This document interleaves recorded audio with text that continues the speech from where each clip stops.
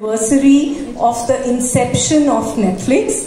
Netflix started as a DVD rental company in the US, and uh, uh, you know we used to rent out DVDs to fans of cinema, bring the joy of cinema to everyone.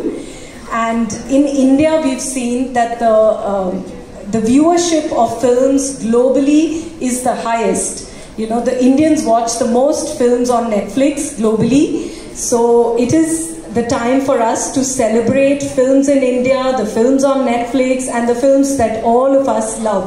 We are film crazy people.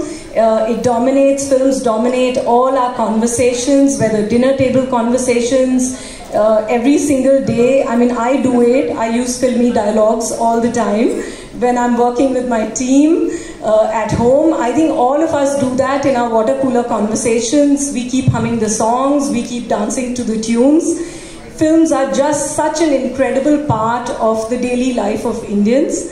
So today is that day for us to celebrate the dazzling and upcoming film slate that we have for you via performances, sneak peeks that we'll give you, and never seen before glimpses and talent appearances. A lot of talent will be here to be with you to celebrate the films that we are bringing on Netflix.